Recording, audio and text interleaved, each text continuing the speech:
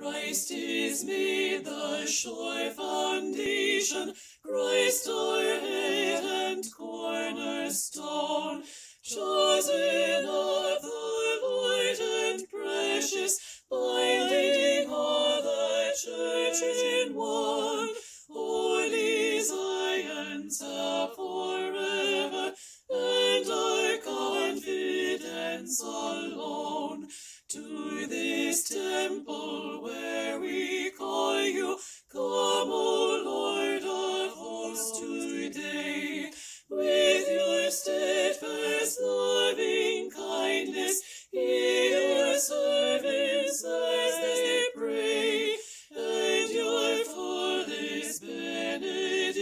resurrection, shed in all its bright array.